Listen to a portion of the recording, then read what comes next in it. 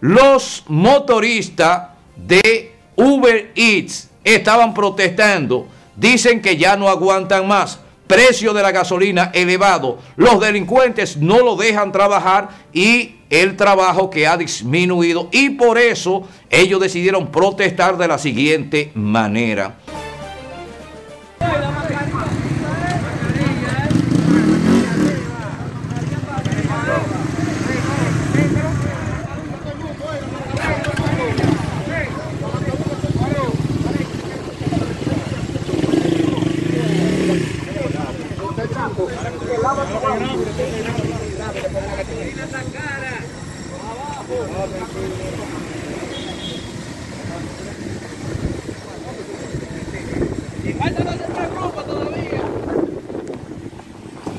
Aquí, aquí, aquí.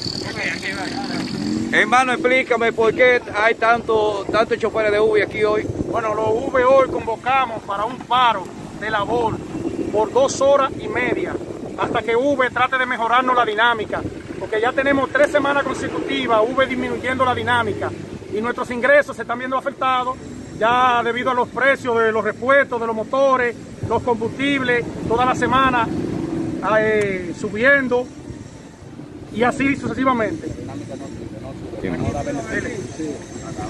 Buenas tardes, aquí estamos protestando porque al momento la tarifa nos la han bajado demasiado, los combustibles suben y suben, la pieza de los motores y a nosotros nos están maltratando.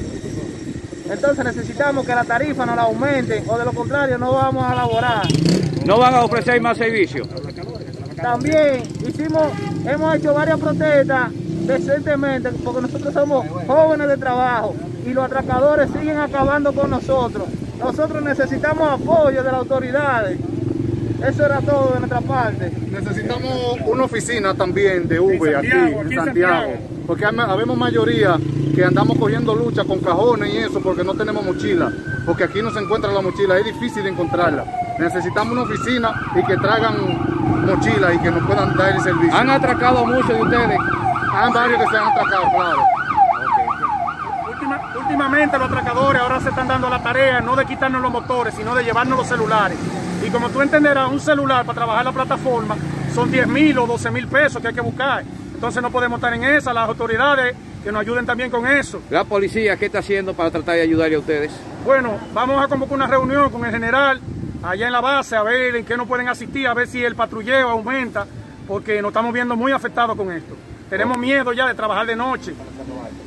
La zona de Cerro Alto es una zona de mucho alto riesgo, los cerros de Gurabo, y por esa área eh, la, la, patrulla de la policía casi no se ven. Entonces ya lo V automáticamente, ya acá en las 9 de la noche, ya automáticamente nos estamos yendo a la casa, porque no podemos eh, exactamente arriesgarnos, porque nuestra familia no espera en la casa y tenemos hijos y tenemos esposa.